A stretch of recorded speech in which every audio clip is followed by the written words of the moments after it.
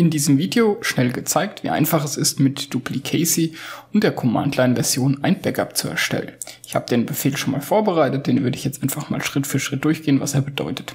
Wenn ich also ein Backup anlege, muss ich mich in den Ordner stellen, den ich sichern möchte. Das ist in meinem Fall Share und Download. Da, wenn ich da drin stehe, für, rufe ich den Befehl duplicacy init auf. Damit wird quasi ein neues Backup initialisiert. Minus E heißt jetzt hier in dem Fall verschlüsselt. Also für Encryption. Useful Vid ist der Name des Snapshots, also die Snapshot-ID. Also im Grunde, ja, der Snapshot ist ja der, den Ordner, den ich sichern möchte.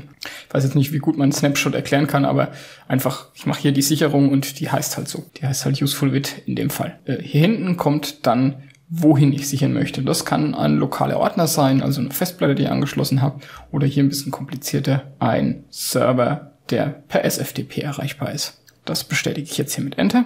Und weil das ein, ein SFTP-Server ist, werde ich jetzt nach dem Passwort gefragt. Das gebe ich ein.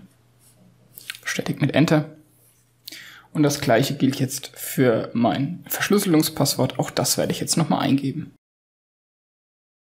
Damit ist jetzt erstmal die Verbindung zu dem Speicher aufgebaut. Mein Tipp wäre jetzt, weil ich ja so ein Backup regelmäßig laufen lassen will, dass das, diese beiden Passwörter, die ich jetzt eingegeben habe, dass man die einfach speichert in eine Datei, die schon angelegt ist von Duplicacy. Das geht jetzt folgendermaßen. Mit dem Duplicacy Set Befehl kann ich dann eben diese Werte speichern. Das ist jetzt das SSH-Passwort. Einmal mit Enter bestätigen. Und das gleiche mache ich jetzt nochmal für das Passwort oder für das Verschlüsselungspasswort. Das bestätige ich auch nochmal.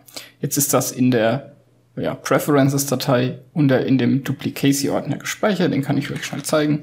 Der liegt jetzt hier versteckt unter Punkt Duplicacy. Dort ist dann eine Datei drin, wo die Passwörter im Klartext gespeichert sind.